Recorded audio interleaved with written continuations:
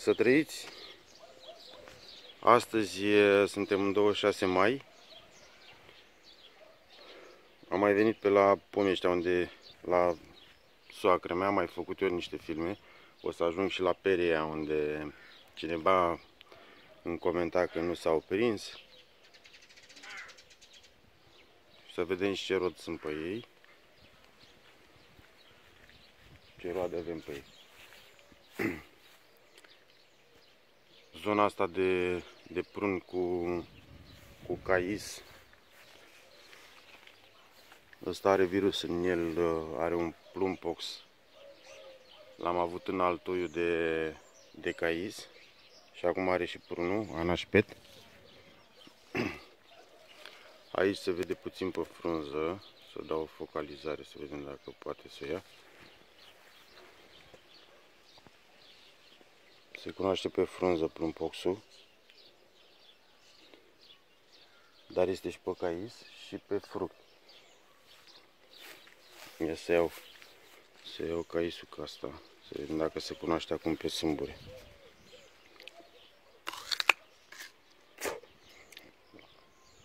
Așa arată plumpoxul. Nu știu dacă, cred că se văd destul de bine petele. Ia să mai curăț puțin aia.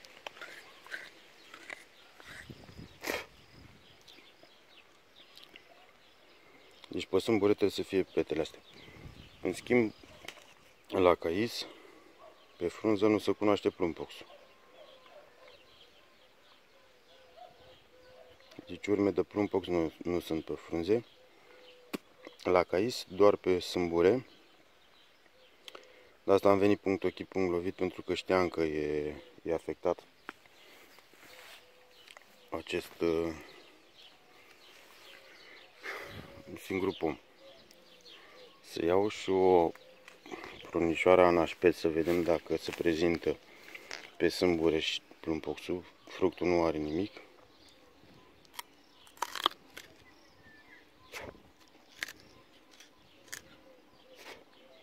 Și sâmbule pare sănătos. Dar așa cum și mă repet, știu sigur că pomul ăsta e plumpoxat. Ținând cont că am pus caițul și, și prunul la bază, știind că am avut ramurile infectate de cele cu altoi, uite puie.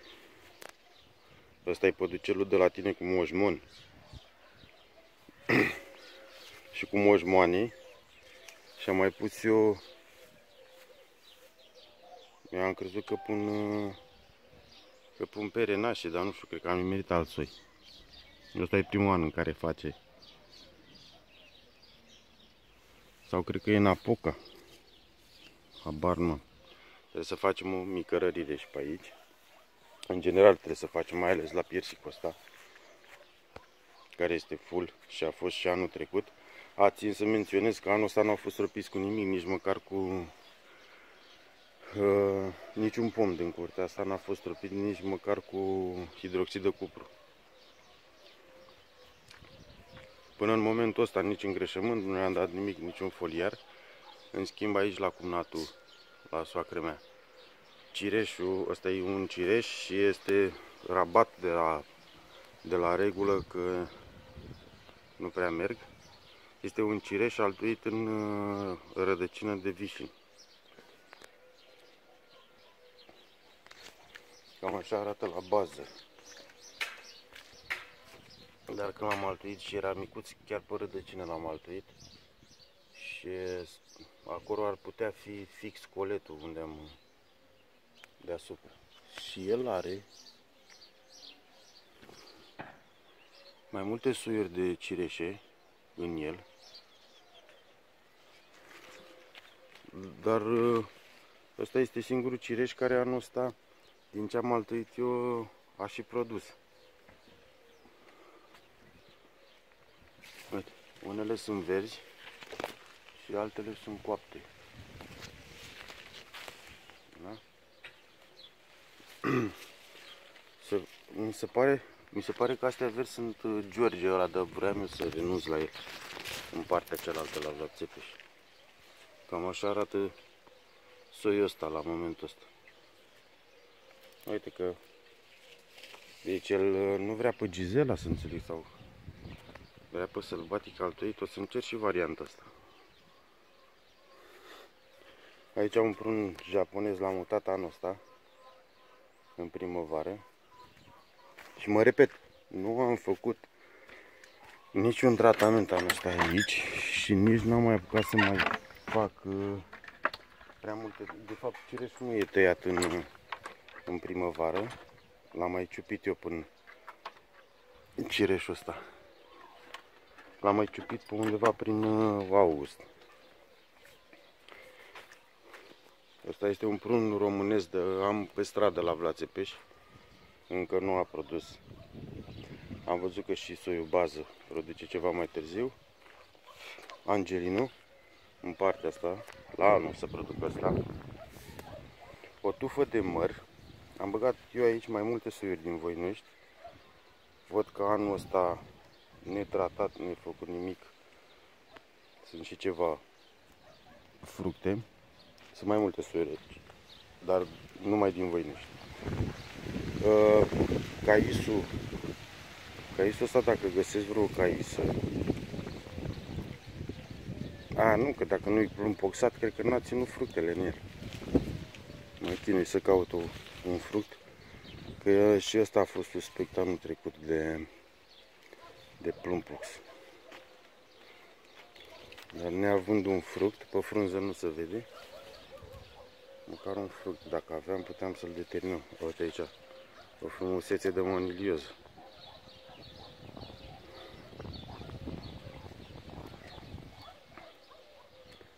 Pe... Deci n-am intrat până, până ei să, să văd ce filmez acum. Am luat direct uh, aparatul, am văzut uh, piersicul la full și am rămas impresionat de cireși și cu 11.000 de soiuri în el și aici le-a dus fără tratamente, fără nimic, a depășit și criza aia de îngheț. De dovadă că nu am fost pe aici, sunt puieții ăștia pe care i-am pus în, în toamna anului trecut. Nu? Omida e la locul ei și iarăși o altă dovadă că nu i-am tăiat în primăvară este acest măr care el a devenit o tufă așa, mamă ce mă urzic. și aici am pus la fel mai multe suieri de mere în el. Am pus la fel, spun la fel că eu ăsta mi-e obi prost obicei să pun mai multe suieri într-un pom. Nu are nu are niciun măr, văd. Niciun flug n-a făcut anul ăsta. Uite un răpănel aici. Început de rapă. Rezolvăm și pe ăsta, dar nu acum. Și o să, o să închid filmarea și o să trec din nou la, la zona asta de peri, combinații pentru a face o transpunere de atunci de când am filmat prost și o să fac o pauză și o să pun începutul filmulețului respectiv și cum arată ei la momentul ăsta. Inui să, să merg între ei. Aici am un prun românesc cu un nectarin de fantazia de la, de la Sorin. Avem aici câțiva lăstari, o să încep să intru la, la eradicat. Aici, simplu, fantazia, atacul moliei pe toate vârfurile. Deci bănuiesc că se vede.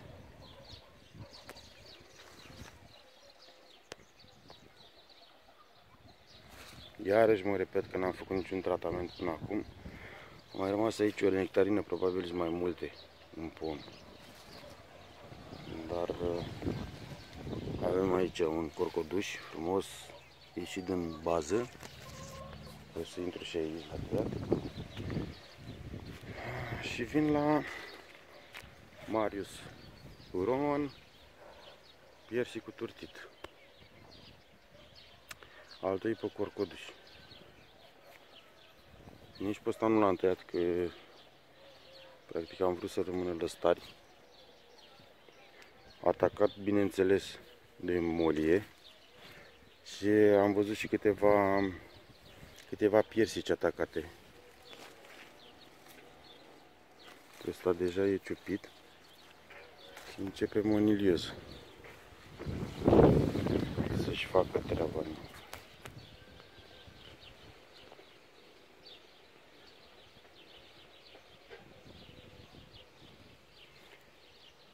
Dar am văzut multe cu clei, ca și în filmul precedent.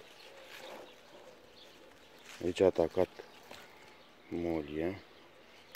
Nu are rost să mai stea. Nu așa, se vede. Bănuiesc destul de bine.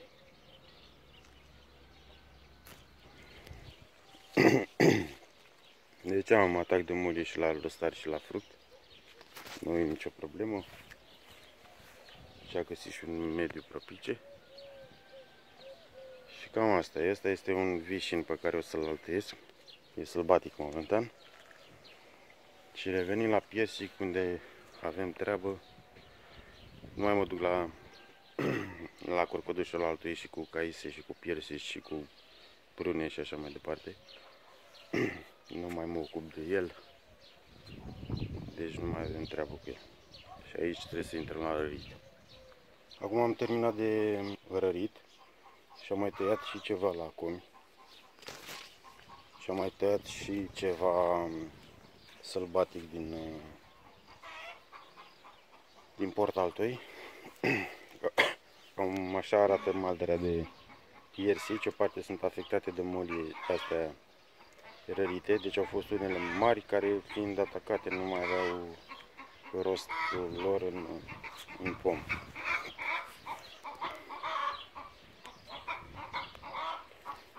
Și vișinul ăsta este unul sălbatic, o să-l altuiesc undeva în, în zona asta sau îl las să crească deasupra uh, capului.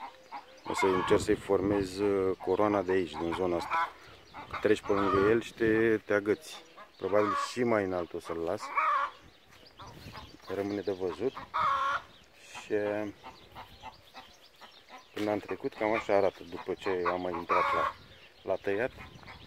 Cu mărul ăla de acolo am lăsat o grămadă pe jos.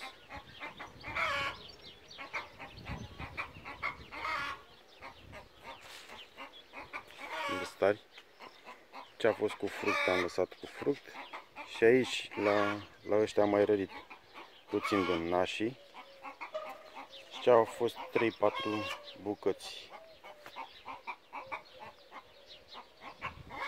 din, uh, din pere.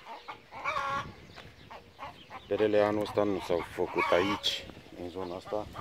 În partea cealaltă la Vlațepeș chiar uh, ca și anul trecut.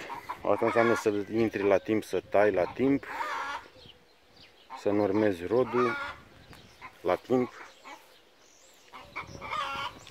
Dar na, aici dacă ajung mai rar, asta este situația. Chiar dacă e un pic de sărbătoare astăzi, mi-am permis să fac o oră chestia asta. Asta mult la rărit la piersicola cred că am văzut în timp ce filmam ce aveam de făcut. După aceea m-am dus la am tăiat mărul ăla din zona asta de aici. Așa și pe ăsta, asta chiar atârnau, toate ramurile atârnau pe, pe pământ. Ce a rămas cu vârf înseamnă că mai are două, trei fructe în vârf acolo. Și erau soiuri dragi, soiuri care chiar vreau să văd despre ce este vorba cu ele, primite de la, de la Radu și am așa o afinitate față de el și chiar uh, sunt curios să vedem și ce fructe sunt acolo. Pe tradițional, să zic așa. și ca, uite aici mai trebuia să mai răresc la mărul ăsta. El a fost de bildă când l-am altuit. Ba, sunt schirjite uh, fructele, ba, anul trecut a crescut ca un bonsai. E ciudat, dar rămâne la locul ăla până când o să fie eliminat definitiv. Cam asta e de la independența de aici. Numai bine